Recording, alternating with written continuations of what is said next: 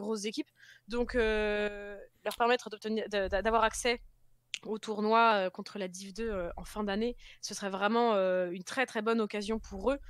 Euh, la initiale sont pas sorties. Attends, je vais reprendre les, phases, de, les phases de groupe. Mais initial, je crois qu'initial, je les ai même pas vu. Est-ce qu'ils ont participé initial euh, Bah non, parce que du coup, ils ont complètement. Si, initial, ils sont sortis. Ils ah, étaient dans le groupe, c'était le groupe des tueurs. Ils se sont fait sortir par les tueurs. Parce qu'ils ont complètement changé de, de, roster hein, chez, chez Alors, s'ils ont changé de roster, normalement, ils perdent leurs points. Mais bon, hormis ça, ils se sont fait sortir dans tous les cas. Ils sont pas sortis des poules. C'est les tueurs qui sont sortis à leur place. Sanctum, on l'a vu, vient de perdre face à Shield. Fragbox euh, ne sont pas sortis des poules non plus, si je ne dis pas de bêtises. Fragbox, non, sont pas sortis hier dans le groupe 3. Ils n'ont pas participé Si, si, euh, groupe 3. Ah, si. Ils étaient contre Ballistic. Ah oui. Et donc ils se sont fait sortir par Metafun et GG euh, Connage, donc qui vient de perdre. Donc clairement, si Wartox avance, euh, plus Wartox va avancer, plus ils vont prendre le large sur le classement général, et c'est une très très bonne chose pour eux. Ouais, absolument. Euh, donc voilà. On est parti en phase de draft, j'ai entendu le ban, le ban Vel'Koz. on, en a parlé, je sais plus si j'en ai parlé en off ou si j'en ai parlé en, live, mais bon ouais. 500 games sur Vel'Koz en saison 10. Bon, voilà quoi. Pas d'hésitation quant au ban, c'est clair. Donc on écarte directement Svel'Koz. On répondra par un first ban Syndra. Ça, c'est du classique. Hein. On ne veut pas que Maro joue Syndra. Et si tu mm. la vois un jour, cette Syndra, ce qui pour l'instant paraît compliqué, tu comprendras pourquoi on ne veut pas jouer contre. Autant Soriana, elle est solide. C'est un bon match contrôle, il maîtrise, il n'y a pas de problème, c'est très propre, très peu d'erreurs. Mais alors ça, Syndra, on mm-hmm. est encore dans, un autre calibre. Hein. C'est vraiment... Euh, oh, c'est flippant, les, les stuns touchent tous, les combos sont propres. Et il faut pas faire un pas de trop en avant parce que sinon c'est un one shot. Donc euh, en général, les peu d'erreurs qui sont permises contre la Syndra. Quoi qu'il arrive, on n'en verra pas et on poursuit avec des bans Lysine, Ziggs, comme tu l'avais prévu, et Tariq. Ouais, Tariq, euh... Tariq c'est embêtant. Alors en vrai, il est joué par, euh, donc par Raccoon et euh, le fait est que bah, ça, ça a un ulti très game breaker, ça peut temporiser énormément de temps, ça peut même renverser un fight. On a supprimé le Lucine de, de Migab à ma grande surprise. On a également supprimé la Diana de Maro. Maro qui se fait un peu target ici sur cette première phase de ban. Et là, on hésite un pic le Darius, je sais pas si t'as vraiment envie de ban oh, le Darius. Oh, J4, J4. Je pense un J4 en fait. Allez, un peu de surprise avec un first pick J4 pour euh, Power Talk, c'est quasiment sûr en vrai. Voilà, c'est pour Migab, histoire de changer un petit peu. Et euh, le ban Nissin, ok. Pour moi, le ban Jarvan est d'autant plus important, même si c'est deux pics qui savent rythmer la partie. Euh, tu t'as pas envie de laisser Jarvan à Migab. Ban Syndra, oui, c'est bien. Ban Nissin, non, c'est pas forcément bien. ban Jarvan, on l'a vu. Hier, Migab, il sait jouer. Mais mm. son pic à lui, c'est J4. C'est ça. Et en plus, le truc, c'est que Jarvan, euh, comment dire, c'est. Ben, c'est un peu plus méta, hein, déjà, tout bêtement. Et ça, ça a un combo, ça a du contrôle. Le cataclysme est vraiment embêtant. On a répondu avec Zach, de la tankiness et du contrôle aussi. Donc, c'est une bonne chose. Attention, j'ai un problème de caméra. Ah, bon, on va Désolé. C'est bon, je suis de retour. Mais euh, on, l'a vu, bon, bon Zach, c'est une bonne réponse, c'est une très bonne chose en vrai. Euh, Zach, euh, beaucoup de contrôle de tankiness. C'est toujours un pic important, je pense, dans, dans, la méta actuelle. Oh On a répondu oh, par un Ezreal. On a un peu deny le Ezreal de, de Cadaver qui le sort quand il le peut. Je crois qu'on l'a vu sur trois pics différents depuis hier. il est joué par Totos. Hein, ouais, voilà. Donc il va rejouer son Varus. Il tourne sur deux pics principalement depuis hier. Cadaver, pas besoin de sortir de sa zone de confort c'est du Varus, oh c'est du Ez. Tu, oh tu, la voulais la veine hier. Est-ce qu'il va. Oh Oh Oh Oh, c'est là Let's go Oh, la veine La veine sur, euh, sur Cadaver. Et eh ben voilà, quand tu piques, quand tu piques ta bot lane, lorsque tu as deux piques, il n'y a pas de problème, tu peux les choisir sans être deny par l'ennemi. On a vu hier, hein, je crois que c'était en quatrième game où ils ont pique Vayne. Non, ils ont pique Lulu, mais Vayne a été choisi en face. Oui, c'est ça. Ils nous ont parlé de ça Lulu. On a répondu avec Ezreal Yumi. Et, euh, et, euh, et bon, bah, c'est très bien Ezreal Yumi. On l'a vu sur la game d'avant. Hein. On va pas on va pas réexpliquer les mérites de cette duo lane. Je pense que ça peut clairement déranger cette veine. J'aurais presque préféré une Nami qu'une Lulu parce que ça a beaucoup plus de contrôle, euh, notamment l'ulti qui est, vraiment trop trop bien, la bulle, tout ça, le boost d'attaque speed qui est vraiment super aussi avec, euh, avec. Bon, c'est pas grave. On a une Lulu, c'est aussi très très bien. Euh, ça va pouvoir protéger cette, cette veine du POC. après, on va pas forcément déranger cette Ezreal. Le truc, il est que bah, si le Ezreal se fait condamner, la Yumi peut pas faire grand chose quoi. Ouais, c'est ça. Quoi qu'il arrive, ça va un petit peu euh, compliquer la tâche. On devrait simplement se neutraliser en botlane. Je suis pas sûr qu'on voit de kill sur le 2v2. Hein. Forcément, les jungles qui ont tous les deux un rôle important à jouer. Zach, Jarvan, c'est deux pics euh, ultra forts actuellement. Zach, on ne l'a pas vu encore. Pour moi, c'est un pic qui mérite d'être un peu plus euh, mis en lumière. Il est ultra efficace. Ça fait partie des trois initiateurs, comme Riot les a appelés lorsqu'ils ont voulu. Mm. recréer une nouvelle classe entre guillemets avec Sejuani, Zach et quel, est quel était le dernier? Maokai, je crois. Oui, je crois la, ça. la refonte des trois pics en même temps. Et, euh, et du coup, ces trois pics bien, font le taf, ils portent bien leur nom pour le coup. Et euh, on va pouvoir les coupler à d'autres champions, voir ce que nous réserve la suite de cette draft. En tout cas, on n'aura ni Seth, ni Darius, ni Yasuo, et un dernier ban à venir du côté Wartox. Ouais, un dernier ban. En vrai, un autre pic qui aurait pu être intéressant, c'est le Thresh. Euh, face à Yumi, les grabs sont vraiment dérangeants. Thresh offre beaucoup de repositionnement à cette veine et ça peut être très très intéressant. On a supprimé Yasuo, Garen, Darius, 7. On a clairement target noob. Il lui reste son Wukong, euh, sur lequel il a déjà fait une game et qui, sur lequel il a été euh, particulièrement efficace. Hmm, qu'est-ce qui pourrait nous piquer d'autre euh, Je n'ai pas pris. Cassio qui est open, hein Cassio qui peut être dérangeante en plus contre, contre Zach avec les miasmes. Hmm, un Horn. Non, Cassio mid, je pensais. Ah oui, parce que je, je parlais de la top lane plutôt. Ah, top lane. Hmm. Top lane, il a Kled hein, qui est là aussi. Hein. Kled est toujours dispo. Ah, voilà, je me disais bien que j'oubliais un pic. Et eh oui, le clé du. Ça m'étonnerait pas d'ailleurs, étant donné que Seth et Darius sont ban. Euh, pourquoi pas Wukong Il y a hein, aussi. Il, joue, il, a pas sorti Olaf encore, mais ça reste un pic qui joue. Il pourrait euh, sortir. Oh Oh, là là, le, oh, le late game des Wartox. Oh non, pas Maokai. Non, je pense pas qu'il piquera Maokai. En vrai, ça a du sens. Mais connaissant Noob, je suis pas sûr qu'il joue Maokai. Par contre, ça, ça me plairait. Un Jace, moi, ça me plairait beaucoup. Wukong. Moi, j'avoue que je préférais le Wukong simplement parce que c'est trop fort dans la méta et que ça peut abuse tout et n'importe quoi. Même et que c'est un peu plus early que le reste de la compo. Euh, et ça, c'est pas mal d'avoir un peu d'early, je pense, euh, pour. Euh, et ben voilà. Wartox. Donc, ça me va. Après, en vrai, j'aurais kiffé un, Olaf. Un Olaf aurait pu être un bon pick, clairement, contre la flanquée de CC qui est à côté, côté Octo. Ouais, voilà, c'est ça un petit Ragnarok et puis s'en va. À savoir ce qu'on va choisir la mid lane côté, euh, côté Octo, il reste pas mal de pics open, notamment cette Cassio, je sais pas si elle est particulièrement aimée. Pardon? Excusez-moi, je vous demande pardon. Ah non, il y a un placeholder. Ok, wow, wow, wow, wow, wow, wow. J'étais là. Hein? Allô? Je crois qu'on a perdu le mid laner. Non, ok, donc c'est pas un Listar, ce sera. C'est Oriana, ok. C'est Oriana le du coup. C'est ok face à Azir. Euh... enfin, c'est largement ok face à Azir. C'est un, match control qui, qui peut se mettre relativement en sécurité avec le shield et le boost de move speed, donc c'est ok. Qu'est-ce qu'ils ont fait? Eh bien, ils ont quitté la draft tout simplement. Mais pourquoi? Ah bah, je ne sais pas pourquoi. Des bêtises comme ça en plus, ils me font. Ah voilà, c'est bon, je lance la musique. Hop, la musique de live de la draft, elle est repartie. Ah, placeholder. Non, c'est placeholder. En gros, c'est des joueurs qui n'ont pas tous les champions et euh, qui remplacent le pic en question, enfin le pic qu'ils aimeraient par un autre champion. et du coup, ça force à refaire la draft, ce qui est un peu embêtant, honnêtement. Mais euh, bon, il n'y a pas eu de pro draft, donc euh, voilà, on sait que ça va se passer comme ça. Et du coup, ce sera très certainement pour les deux ou trois games à venir. Donc on va refaire exactement la même draft. On aura les, mêmes pics sur les mêmes champions. La différence de ce Alistar qui était une Organa. Oui, c'est ça, une Oriana, ça reste une bonne réponse, c'est safe, ça apporte beaucoup de contrôle avec euh, le Zac, le Horn, je pense qu'on on peut clairement... Euh, ça rentre clairement dans leur composition, dans leur optique de jeu, ça scale très bien aussi. On a aussi du bon scaling avec Horn, hein, qui offre ben, des items euh, complètement pétés, on va le dire.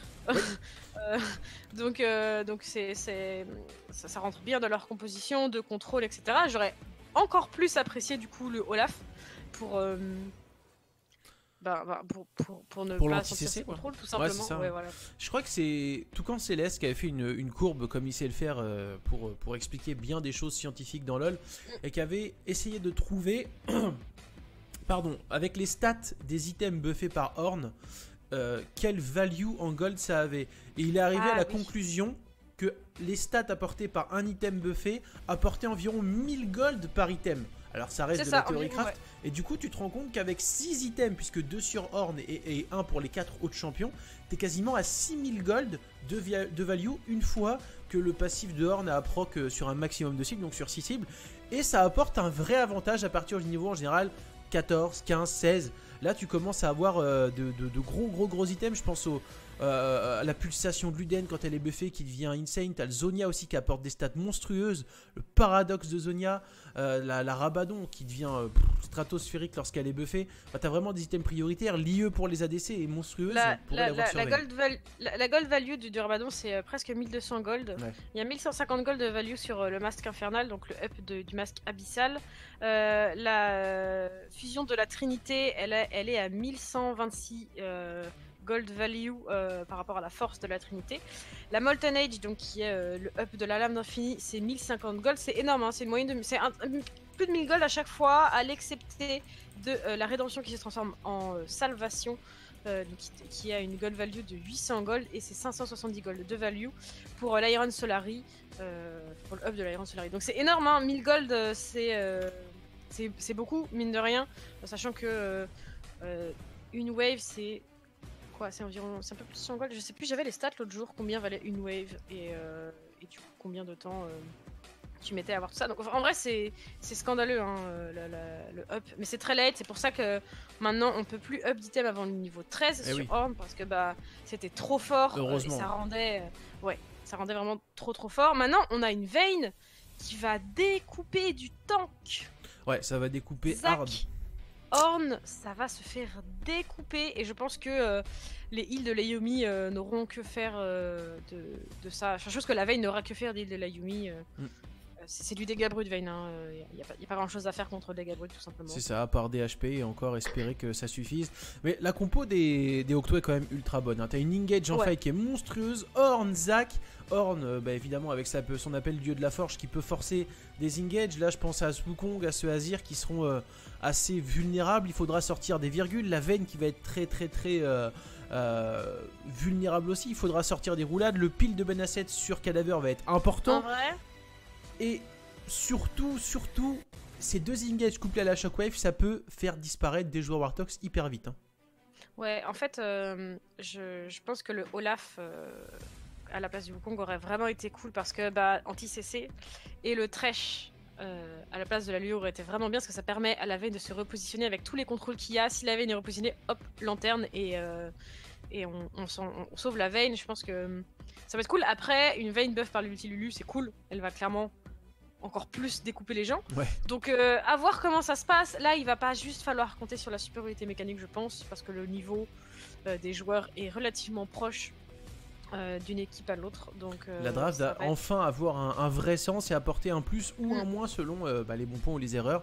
En tout cas, les late games dans les deux teams sont bons. On en a parlé avec ce Horn, cet Oriana, ce Ezreal, qui sont des pics qui montent en puissance. Hein. Chez Wartox, ouais, Yumi pareil. Chez Wartox, on a Azir, Vayne. Avec la frontline qui va être assurée par le, le, J4 de Migab. Honnêtement, on a des armes pour, pour batailler tôt dans la partie, notamment au mm. niveau de la top lane et des junglers. Et euh, plus on va aller leg dans la partie, plus les carries, les, les, carries au sens propre du terme, j'entends, auront de la place. Et à mon avis, on pourrait voir une game un peu plus slow que les autres. Ouais, en fait, euh, j'attends euh, autant d'efficacité de la part de Migap que sur la game qu'on a pu voir avec le, Jax, tout simplement, pour, euh, pour faire snowball ce Wukong et pour le rendre efficace plus tôt, parce qu'en fait, il va falloir être efficace early si on veut pas euh, tomber trop derrière pour le late game et être, euh, être bien positionné quand va commencer à y avoir des items sur, sur la Oriana, sur le Horn, etc. Donc j'attends beaucoup d'efficacité de Migab. Il y a vraiment une grosse partie de l'early game qui repose sur lui. C'était déjà le cas hier. Il nous a montré qu'il était très fort et qu'il était capable de le faire. Maintenant, ben j'attends que ce soit aussi le cas aujourd'hui, tout simplement. Après, en général, il, il, accepte et il assume complètement son rôle. Quand il a la pression qu'il doit carry leur game, il sait le faire. On l'a vu la game précédente où il a campé euh, comme il fallait Noob. Il a donné euh, un nombre de ressources illimité sur son Jax. Il a fini en 4-0, 5-0. À partir de là, euh, Noob a pu snowball et l'essentiel de la game était fait. Donc Migab connaît son rôle, il saura jouer en conséquence et on devrait un peu plus laisser, je pense, en tout cas, ce, cette botlane tranquille, puisque tuer Ezreal Yumi, ça relève de l'impossible, d'autant plus quand ta botlane joue Vayne et, euh, Lulu. Donc, potentiellement, on va avoir un mi-gap sur les solo lane, et ça correspond au style de jeu des Warthogs, puisqu'en plus, il pourra être présent sur les Herald. Ouais, c'est ça. C'est vrai que ça rentre complètement dans leur style de jeu. Maintenant, on a vu que euh, le duo euh, top jungle fonctionnait très très bien. Je pense que c'est ça sur quoi il faut s'appuyer. Horn, c'est abusable early, ça fait beaucoup de dégâts, mais c'est abusable parce qu'il ne tank pas encore trop. Donc, euh, on, va. Je pense que ça peut être une, bonne, une bonne solution. En tout cas, on est parti pour cette première manche de cette demi-finale du LoL Open Tour 4ème édition, enfin quatrième étape. Euh, on a les Warthogs en euh, blue side et on a les Octo en red side. On a deux compos qui sont euh, vraiment très strong avec beaucoup de late game. On, attend beaucoup d'efficacité de la part de Migab, surtout pour récapituler un peu en early, surtout côté top side pour prendre les Herald et, faire snowball noob. Tout simplement, on va partir sur une cover assez simple. Est-ce qu'on est calé en termes de timing, mon cher, mon cher Niwi Je suis à 28, 29, 30. 31. Parfait. On est bien. Super. On est, on est calé, c'est une simple cover, on va se faire face. on se fait face. On, se regarde dans le blanc des yeux là.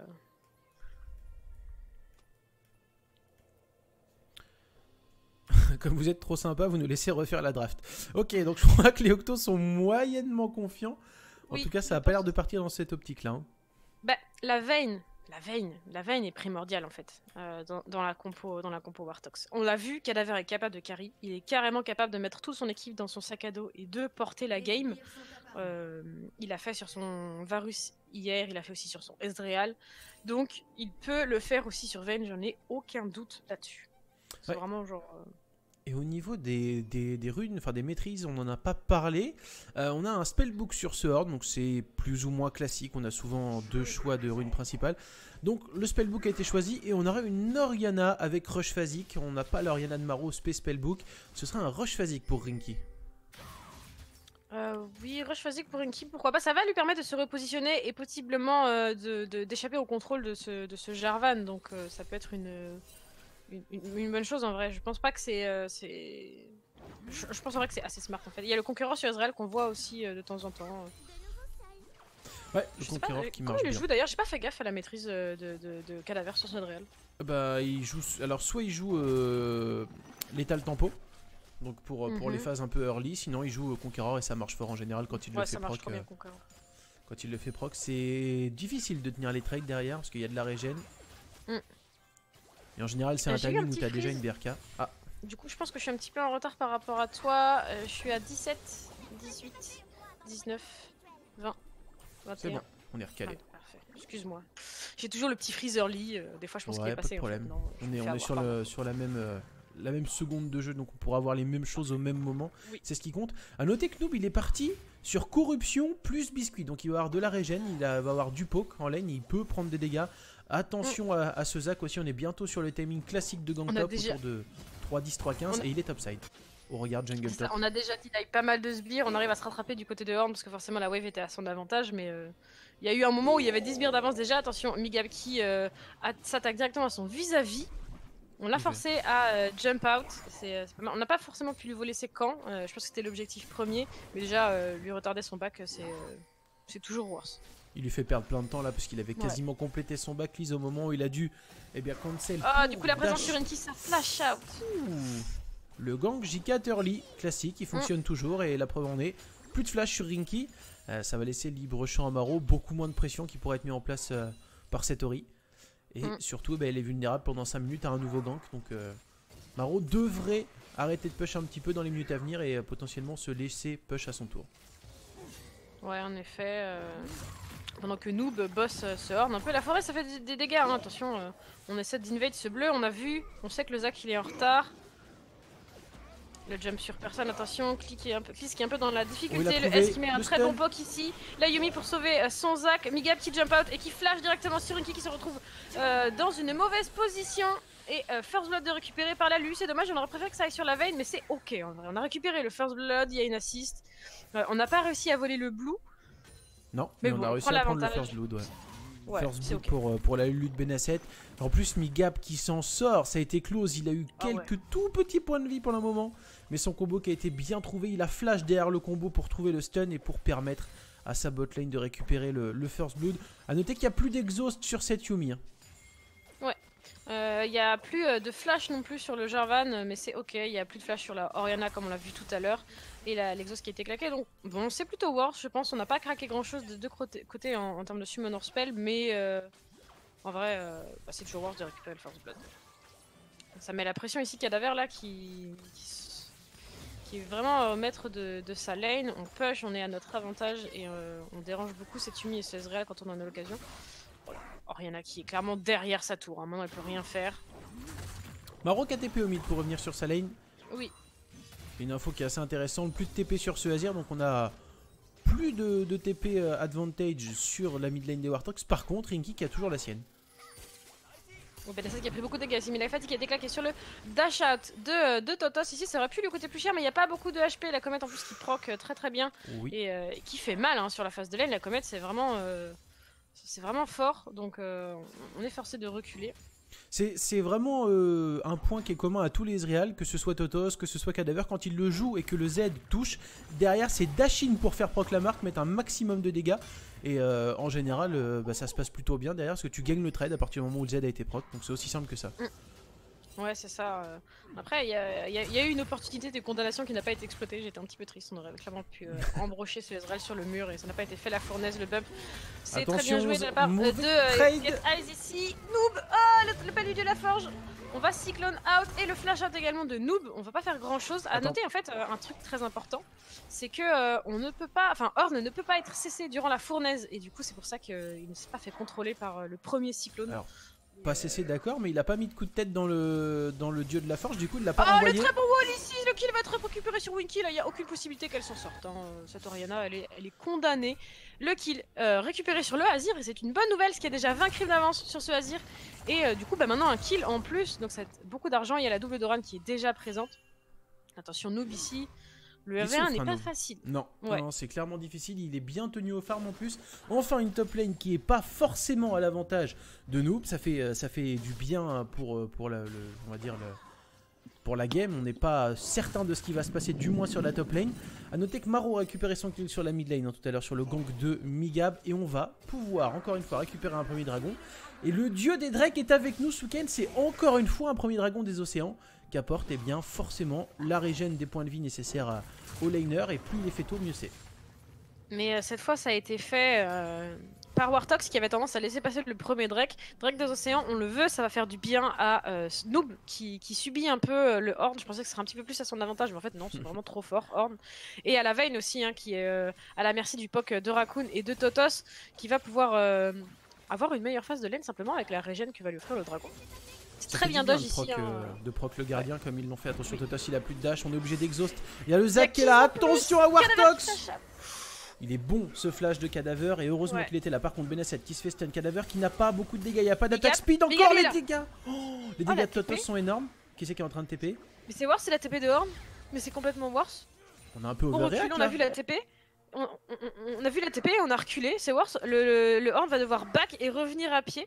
Du coup, pour Noob, ça le met dans une bonne situation. Il va pouvoir prendre l'avantage en farm, reprendre aussi euh, soit freeze et du coup faire perdre un maximum de farm à, son vis-à-vis, soit push euh, et euh, essayer de gratter la tour. Je sais pas, Rinky qui est à nouveau dans la difficulté, qui se fait vraiment déranger par ce Azir.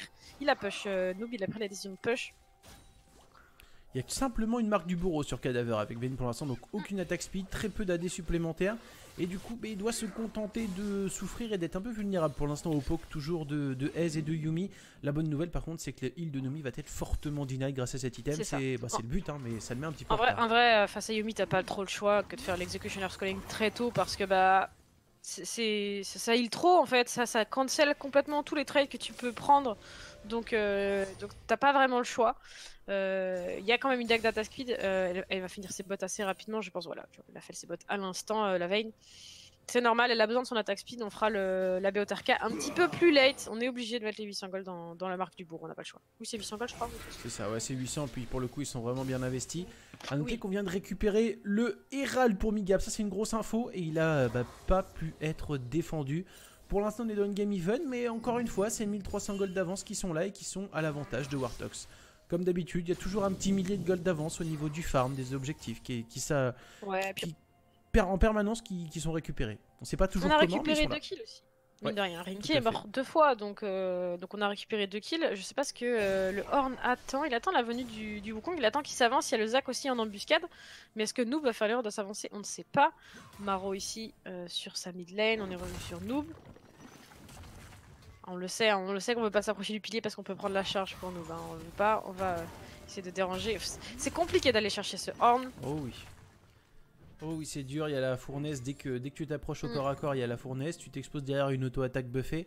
Et finalement, on se retrouve avec un Wukong euh, qui a plutôt un rôle de bully en lane, on va pas se mentir. Mm. Et bah, là, qui est un peu contraint de rester sous sa tour. Alors, il est très très bien en farm, 92 CS, mais il est un peu dans le dur comparé à ce qu'il a vécu jusque-là, Noob. Ouais, il est un peu dans le dur, mais après, il est devant en farm. Hein. Ouais, tout à fait.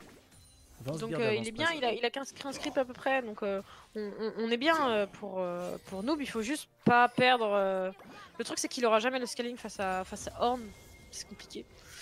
C'est dur, attention, on a encore la présence de Zach Top, il y a l'appel dieu de la forge qui est disponible, Boeing aussi. C'est compliqué pour Oriana aller en permanence aveugle.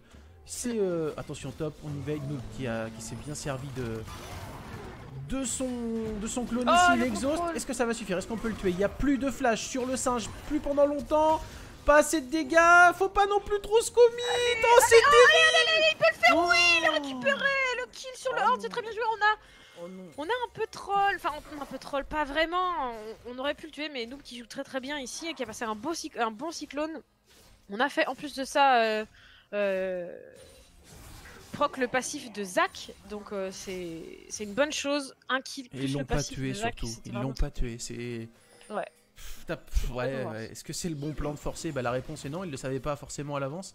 Mais enfin, tu peux pas te tromper euh, autant, en fait, tu peux pas faire d'erreur aussi grossière à ce moment-là de la partie. Euh, perdre le passif, perdre ton or. Il y, a 4 niveaux d'avance la Cleese Oh ah ouais, bah, c'est sûr qu'il va pas gagner. L'aftershock qui proc Oh, 4 niveaux. 4 niveaux et puis il joue contre euh, un singe qui a déjà une, un sabre vicié. Donc mm. euh, il ne faut pas qu'il fasse trop le malin. Il y avait l'aftershock pour tanker. Au moment où il est parti avec le slingshot, euh, heureusement l'aftershock n'était plus dispo donc il aurait pris de gros dégâts. Et du coup Noob on demandait pas tant mais qui est mis dans de bonnes dispositions, il a pu récupérer sa BRK et 1-0 pour l'instant. Ouais, on a récupéré une plate aussi de, de Maro. Je suis curieuse de voir l'avantage au gold euh, qui se, dessine, puisque bah, on a presque 3000 gold d'avance pour Wartox maintenant, euh, avec ce kill de prix. On a, bah, on a 1000 gold d'avance hein, sur le Wukong avec le kill plus l'avantage au farm. On a un petit peu d'avance aussi, tout juste 300 gold entre les deux junglers, c'est ok. Le Zac arrive à trouver pas mal d'utilité, même si bon, il est pas mort, mais qu'il a pas réussi à prendre le kill non plus. C'est ok, il est présent, il est pas en retard de farm. On a utilisé les sur la mid lane et la tour devrait tomber. Elle va tomber, c'est sûr. Allez, Maro finit là. Maintenant, il faut peut-être courir. Il a placé sa tourelle. Oh, il flash out, flash out. Ouais, il est forcé. Oh, le barrage terrible qui était pas loin. Benasset qui est là pour sauver son mid laner. Clis qui ne tombera pas. Par contre, on a temporisé tant bien que mal. Mais attention, puisque voilà Horn sur la mid lane. Il faut se réfugier sous la tour et tenter de temporiser tant bien que mal. Migam, il me semble bien mal embarqué maintenant il va ouais, deux personnes, le cataclysme, ça flash out du côté de Rinky, c'est très bien joué. Migam qui devrait quand même tomber, la fatigue a été utilisée sur Totos. Benasset un peu dans la panade ici, il va probablement tomber. Double kill d'offert à euh, Wartox ici, la TP de Maro, c'est pas terrible. On va quand même récupérer le kill sur Horn là qui avait pas beaucoup de HP. On pourrait récupérer le kill sur Clis, mais on prend beaucoup de dégâts. On n'arrivera pas à s'en sortir. Rinky qui récupère un kill ici. Rinky qui va se remettre euh, un peu mieux grâce à ce kill de récupérer. On a plus de flash quand même sur la Oriana. On a utilisé la shockwave, on a vraiment plus grand chose. Et du coup, ça ouvre un dragon. Dragon infernal. En plus, c'est pas forcément le dragon qu'on a envie de concéder pour Wartox. Mais bon, bah, pas trop le choix. Il n'y a que la veille pour le défendre. Je pense pas il ne va pas le défendre. Hein. Non, c'est trop, trop difficile. Il va être validé ce dragon avec le smite. Voilà, proprement c'est fait. Et attention même pour Cadaver maintenant qui est en 3 v 2 Il y a Gab qui est là. L'exhaust est bonne. Tout aussi prend beaucoup de dégâts. Cadaver qui active l'ultimate. Un kill récupéré pour Cadaver. Attends, il vient vraiment de flasher. le heal qui va pas être suffisant. Il n'y a plus d'ulti normalement sur la Yumi. On va quand même mettre le shield. Très bonne roulade. Ce sera pas suffisant pour s'en sortir. On est tombé du côté de Cadaver dans les mains de Rinky. Noob qui vient de prendre son 1v1 sur le Horn. Et ça, c'est une bonne nouvelle pour Noob. Parce que c'était vraiment compliqué en, en début de partie. Qu'il arrive à prendre son 1v1. C'est une très bonne chose. Par contre, euh, là, Cadaver qui tombe, Ringy qui revient un peu au score 2-2. Ah Il revient même très très bien. Il a pris 2 assists, 2 kills en l'espace euh, d'une minute 30 là avec Soriana. Il devrait pas tarder à compléter le Luden. Hein. Il est toujours en retard de 1300 gold hein, par contre. Hein, ouais, forcément. Mais bon, il a, il, a réduit, il a réduit la marge, il a réduit l'écart. Pendant ce temps-là, on a eu une, bah, un peu une clown fiesta botlane la cadaver qui a flash in alors que le move était bon. Il venait de concéder le Drake, il a pris un kill et après il a tenté le 2v1. Et c'est en plus euh, bah, Rinky qui a récupéré le kill grâce à, la sphère d'Oriana. Il faut pas non plus trop vouloir en faire. Ils ont l'habitude de jouer à ce moment-là avec beaucoup d'avance. Là, entre guillemets, il n'y a que, je dis bien des guillemets, hein, que 5 k d'avance pour Wartox au moment où, on parle. Du coup, il faut quand même se méfier. Et puis Cadaver, il joue Vayne avec euh, une marque du bureau, donc il n'est pas encore euh, au, plein, potentiel, bien loin de là. Et du coup, il doit, il doit se calmer un peu. Il a le sabre vicieux de Faye, il y a eu la dent de terminer du côté de Azir. Euh, on a également une baguette trop grosse pour le Rabadan à venir, il y a toujours la double Doran qui est là. On a fini la BOTRK pour Wukong, il y a un, phage et une brillance arrivée. Attention, ici qui est dans la sauce, la très bonne euh, Shockwave de la part de euh, Rinky, mais la, la condamne qui va venir à bout du Zac. On est obligé de reculer du côté de la Oriana.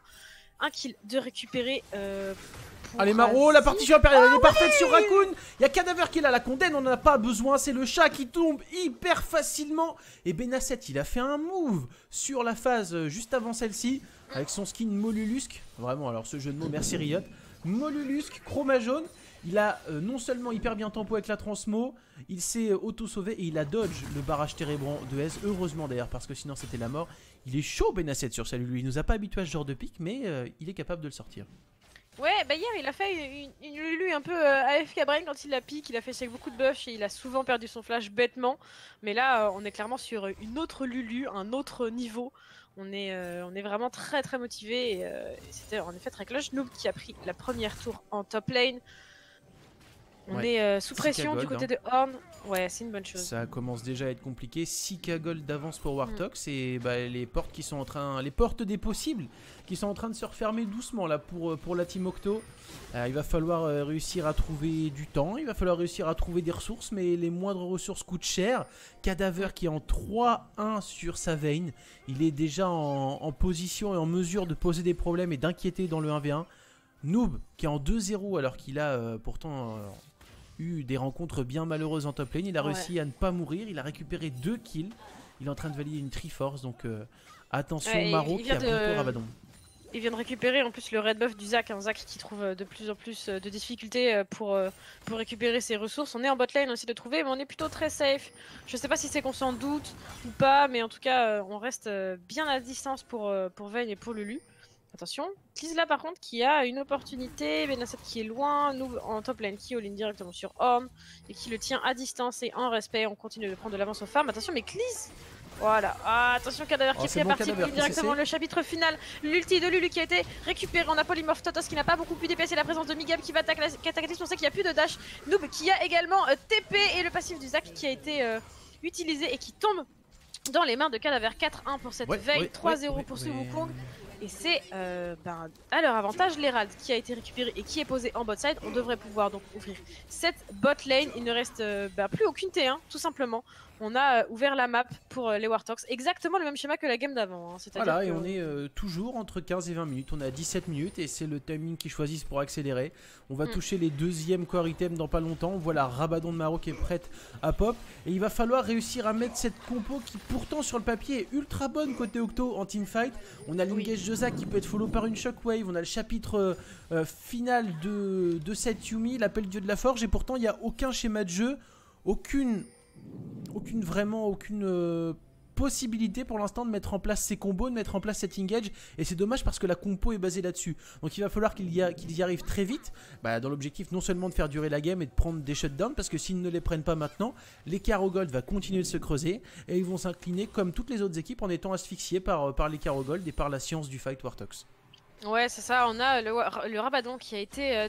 Euh, terminé du côté de Azir. Donc c'est Azir qui, là, qui a un, bon DPS. On est vraiment bien installé. Il y a bah, 50 creeps d'avance sur la, sur la Oriana qui elle n'a que son Luden et le double Doran. Le dragon des vents est apparu sur la faille. On est déjà en train de s'en occuper du côté de Migab et de Ben Asset. On pose de la vision.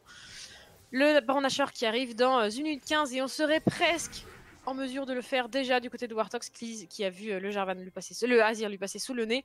Et là, c'est Horn qui est dans la difficulté. Noob et Maro qui ont décidé de le prendre en chasse. On a vu qu'il y avait euh, le Zac juste derrière. Est-ce qu'on s'en préoccupe Pas vraiment? Il est coincé ce Horn. Il est coincé. On va simplement reculer. On ne veut pas tenter de fight avec tous les contrôles qu'il y a. Et puis il y avait la Oriana, il y avait Rinky qui était là en backup avec Saori. Mais il ne faut pas oublier de dépush. C'est bien de vouloir décaler, d'apporter du soutien aux salines, etc. Mais il ne faut pas oublier de push les lanes, surtout cette mid lane, avant n'importe quel objectif ou n'importe quel roaming. On le répète à tous les niveaux de jeu et quand c'est oublié, ça coûte souvent cher. Push la mid lane. Oui, en effet, on a récupéré le dragon, je crois, hein, du côté de Vayne et la solo. Le premier dragon euh, des vents récupéré. Attention, Noob qui all-in sur euh, Totos, un, un, cyclone sur 3 personnes, c'est très bien jusqu'il y a la, euh, la, Yumi sur le Ezreal. Oh, il était cancel, on à tuer pour autant. Il était en train de TP, il s'est fait cancel sa TP par la bonne charge sur le pilar de Horn. Du coup, plus de TP pour Maro qui aurait très certainement fait la diff là s'il était euh, parvenu jusqu'à la mid lane. Bien joué de la part de Bdi. Maintenant, il va avoir fort à faire. On les sait, c'est son bon. Et Horn qui passe au travers, qui casse la partition impériale à coup de corne de bouquetin. Et Benasset va tomber aussi. Il est là peut-être le réveil des Octo. Ils n'ont pas dit leur dernier mot. Et tant mieux pour nous, tant mieux pour le spectacle. Ah, il y a Cadaver ici en soutien, on va récupérer le kill sur Benasset, mais maintenant c'est la veine, le DPS de la veine qui se met en place. Le oh, très bon la condamne condamnation qui va l'empêcher de renvoyer son bouquetin. Le, euh, le retour de Clis dans le combat qui va se faire instant dépop. Le très bon dash ne sera pas suffisant pour s'en sortir de la part de Homme. Cadaver qui récupère un kill et qui s'en va comme un roi. Miguel qui devrait trouver un. Oh non, il va trouver un combo in sur le, sur le Zac adverse pendant que Noob crée la Discord en bot lane. Il est déjà sous la T3. Rinky qui n'a plus beaucoup de HP, c'est un très beau dive, on n'est vraiment pas passé loin. Et, euh, on s'en sort à pas grand chose hein. du côté de Rinky là, c'est c'est délicat. C'est très très délicat pour, euh, pour, pour, les Octo parce que simplement on pense trouver une peur de sortie. On a trouvé euh, un très bon cache sur, euh, sur le Azir et, et ben derrière il y a Cadaver qui vient avec Migab et, qui, qui dégomme tout. Donc c'est compliqué. On a la peine à, trouver un, équilibre dans cette game pour. il a sorti un fight insane Cadaver, il a dodge un nombre de sorts incroyable, il a flash au travers de la mm. charge de Horn, passé derrière. Il, il fait pas de bruit, il est pas Enfin là pour le coup ça a été spectaculaire mais c'est toujours... Euh, il fait toujours son taf euh, de la manière qu'on peut espérer. En fait, on attend d'un ADC qui fasse ça, lui il le fait. Malgré, euh, malgré une en face avec, avec un Zac et un Horn qui est insane, il arrive à faire ça. Alors que c'est Engage côté bot lane. Bah, c'est ça. En fait, c'est ce qu'on disait la game d'avant, euh, la tour qui tombe sur les coups de barreau aussi, c'est que Cadaver c'est un joueur euh, très régulier, il fait très peu d'erreurs, jamais euh, un pas de travers, trop, de, sur le, trop sur le côté ou quoi que ce soit. Très, très peu d'erreurs, très, très solide, et on essaie de trouver une engage et tout sur Clis, mais ce sera pas suffisant. Ah si, on y va, non, on va, on va jump out hein. quand même. Voilà, bah, on arrive au 10k gold. On n'a pas l'impression parce que ça se passe ça se passe plutôt bien. On, croit que ça se passe bien parce qu'ils arrivent à trouver des kills, des shutdowns, etc. Mais ils sont toujours perdants de l'autre côté de la map. On a vu là le fight, euh, le fight top qui est bon. En, partie, hein, qui est bon, euh, qui est pas mauvais, on va dire, du côté des Octo. Mais il y avait Noob avec son Wukong sur, euh, sur la botlane qui était en train de valider une T3 et qui a failli venir à bout de Rinky. Donc on est perdant sur la globalité de la map. Et la petite, la petite clochette d'Eddie Gold qui va pouvoir sonner dans, dans quelques dizaines de gold maintenant. On est, voilà. On est au stade où Wartox a accéléré, on est à 22 minutes et encore une fois on dirait que les, Octos vont faire comme le reste des teams mais ne vont pas réussir à, dépasser le stade des 30 minutes de jeu. C'est le genre de macro qui me satisfait un peu plus, c'est-à-dire que quand il se passe quelque chose euh, euh, de pas forcément en leur faveur d'un côté de la map, à l'opposé, on a euh, trouvé euh, de quoi se consoler et, ça se passe très bien parce que du coup, ça fait qu'on n'est jamais perdant sur peu importe le move, on n'est pas perdant. Cadaver ici qui a, qui a fini deux items, Ginzu et Beoterka, la Trinité, et la Beoterka également sur Wukong qui ont été sécurisés. On s'en sort très très bien, le Nashor qui a été fait, on a complètement de quoi le tomber et assez rapidement avec la composition qu'on a. On ne peut absolument pas le défendre, hein. c'est pas vu de toute manière je crois. Les Wards ne donnaient pas, la vision. Ils l'ont ping, ils ont ping qu'ils y arrivent, mais c'est trop tard. Et pendant ce temps-là, c'est Noob encore qui fait des singeries sur la mid lane. C'est trop, trop, trop, trop dur. Tout le monde a deux corps items chez, euh, chez Wartox au minimum. Le lithoplastron est là pour Migab. Et on va certainement s'orienter vers un dernier fight. Maintenant que le Nashor est là, on va buffer les sbires prendre cette dernière T2 qui subsiste encore sur la mid lane.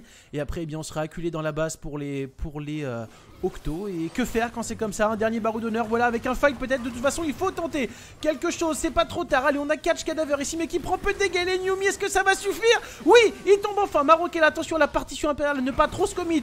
Allez, maintenant, c'est l'engage de Noob qui va avec son cyclone. Le cataclysme de JKT, il saigne Et triple cyclone Il n'y a plus de Yumi Rinkiki est dans la panade également suivi par Noob il ne reste que ce Horn et cette Oriana, on n'a pas du tout de solution de port de sortie. On prend Cadaver et on ne prend rien d'autre. On perd quasiment tout le monde en échange. On perd cette T de mid, probablement cette T3 avec le buff du Nashor.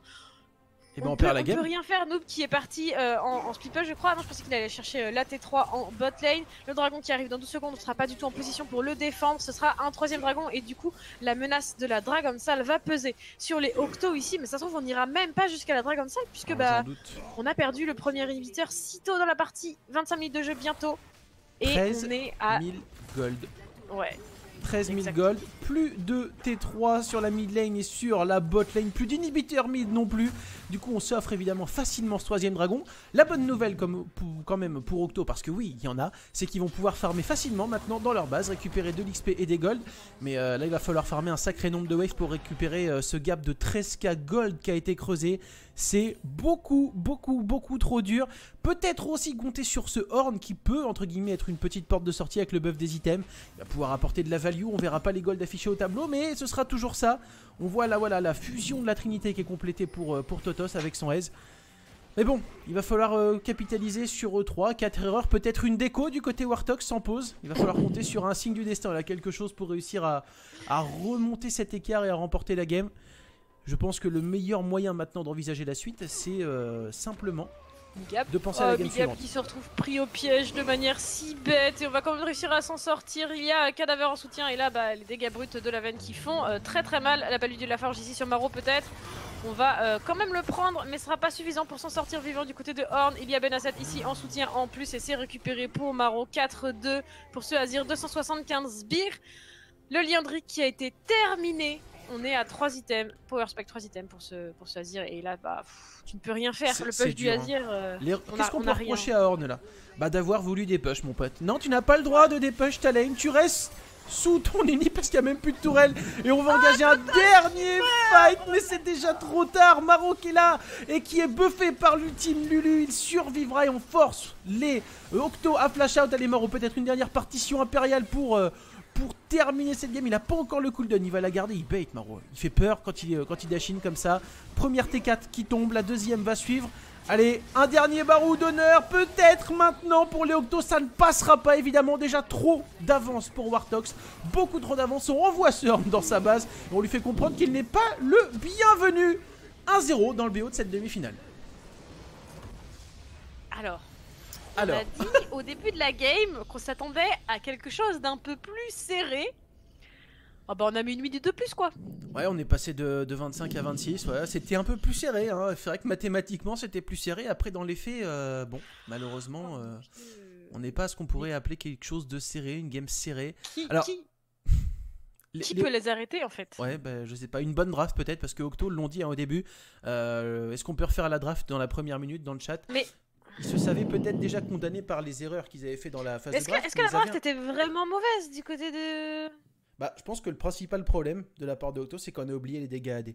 On avait principalement des dégâts AP, ils l'ont dit, ça a été dit aussi dans le chat, et c'est une réalité. Je pense, je suis pas sûr d'avoir raison, mais une des clés pour battre Wartox, c'est de jouer leur league game. Parce que à partir de 15-20 minutes, honnêtement, Wartox, on l'a vu à chaque fois, ils accélèrent, ils sont imprenables, ils asphyxient complètement euh, les, teams ennemis. Et peut-être que le meilleur plan de jeu à mettre en place pour réussir à les battre, c'est d'aller chercher l'early game. Je sais pas, avec des Lucian, avec des pics très efficaces en early game, euh, sur la mid lane, des pics qui sont capables de snowball, pourquoi pas un talon? De toute façon, il faut essayer quelque chose parce qu'en jouant la macro classique, ça ne fonctionne pas. En jouant la méta, ça ne fonctionne pas. Donc il faut essayer autre chose. Et peut-être qu'en jouant des pics qu'on assume, qu'on affirme, euh, des pics très, très early, très snowbally, des assassins, et eh bien ça pourrait passer. Mais quoi qu'il arrive, il va falloir tenter parce qu'au bout d'un moment, on n'est plus en mesure de rivaliser en jouant de manière classique, on s'en rend compte. Non, on peut pas, on peut pas, on, trouve pas les solutions en face euh, qui est-ce qu'il faut En fait, le truc, c'est qu'il y a tellement de potentiel de carry partout, que ce soit Noob, que ce soit Migab, que ce soit euh, Maro ou Cadaver, tout le monde est capable de carry et de porter le reste de l'équipe en fait du côté de Wartox. Et cancel tout le monde, c'est super compliqué en fait. Donc, ben, on, trouve pas forcément de solution. On, a un roster. Euh, au-delà des compos, etc., on a un roster Wartox qui est super solide et c'est difficile de counter Wartox en lui-même en fait parce que ben c'est très dur de draft. Maro est indraftable à cause de son de son pool champ, de son pool ocean même on pourrait dire parce qu'il peut vraiment sortir tout et n'importe quoi. Cadaver est ultra régulier. Il ne perd jamais sa lane. Jamais en fait. Cadaver et BNA7 sont ultra solides et, euh, et, ultra réguliers. Ils font très peu d'erreurs. On arrive très peu à les avoir. Euh, là, la veille, en tout, elle est morte fois deux fois. Euh, et, les deux games d'avant, il n'est pas mort. Enfin, je veux dire, c'est, assez scandaleux. Et, derrière, en fait, tu as Migab et Noob qui sont là pour créer le clutch, là pour créer l'upset, et, euh, là pour créer éventuellement le snowball si c'est possible. Et au pire des cas, et eh ben, si le snowball ne passe pas, on s'en fout parce qu'on a Cadaver et Maro derrière qui sont intombables en fait. Donc, euh, on connaît très bien nos forces du côté de Wartox, on les utilise à merveille, et en effet, c'est vraiment très compliqué de jouer contre une équipe comme ça euh, à, ce niveau-là en fait. Ce qui, fait flipper quand même, c'est qu'ils arrivent à sortir une game terminée en 26 minutes avec un gap de presque 15k gold à la fin de la partie, alors que les deux carries, les deux principaux carries, c'est Azir et Vayne. Des personnages, des champions qui sont initialement prévus pour exceller dans le late game. On est à 26 minutes, ça veut dire qu'on vient de rentrer dans le mid game. Et t'as deux carries qui sont faits pour le late, qui sont à ce stade-là déjà en avance. Dès les premières minutes de jeu, tu vois que Cadaver il se permet de jouer une veine, qu'il prend des trades, qu'il arrive à valider 3 kills très rapidement. Il se permet même des erreurs qu'il ferait pas en temps normal, pas s'il devait tryhard avec le flashing en AV2. Il se permet de, de, le faire, il récupère des kills, ça paye. Et en fin de compte, à 26 minutes, il est avec une veine qui a déjà un lance-roquette entre les mains. Et bah, ça mm. se passe euh, archi mal pour les Octos qui peuvent pas suivre. De toute façon, il va falloir revoir la draft et, à mon avis, changer de plan de jeu, oser quelque chose et affirmer, assumer ce qu'on veut mettre en place parce que les moyens classiques ne fonctionnent pas. Ouais. ouais. bah, on va voir comment on se réveille, peut-être, euh, sur, euh, sur, sur, la deuxième game pour, euh, pour Octo. J'y crois moyen. J'y crois très moyen. faut y croire. Faut y croire. Pour la beauté du jeu, pour le spectacle, j'ai Ah, pour le spectacle, j'y crois. Hein. Je crois aussi très fort en Wartox. Pour le spectacle, ils sont capables de le faire, donc il n'y a aucun souci. Maintenant, bon, bah, je suis pas ultra optimiste. Euh, j'ai pas vu des pistes du côté de, de, de qui peuvent me dire ils ont compris, ils ont quelque chose à faire euh, contre Wartox euh, sur ce bureau 3. Ça me paraît vraiment compliqué, donc bon, on va voir. Euh, on, va voir comment, comment ça évolue. On va vous laisser pour une petite pause et on vous retrouve très très vite pour, pour la suite euh, et peut-être la fin de, ce BO. Peut-être, ouais, une balle de match pour Wartox. Juste avant de partir en pause, je vous rappelle qu'on est toujours en train de récolter des dons pour le CHU de Montpellier. La cagnotte est ouverte, vous pouvez la retrouver juste sous le stream. On est à plus de 1000 euros, vous le voyez hein, dans le coin en bas à gauche, 1052 euros de, de, de, de récoltés déjà. Donc vous avez jusqu'à ce soir, après l'after de l'Open Tour sur la chaîne de l'MGA, pour, euh, pour faire votre petit don. N'hésitez pas, tout est bon à prendre.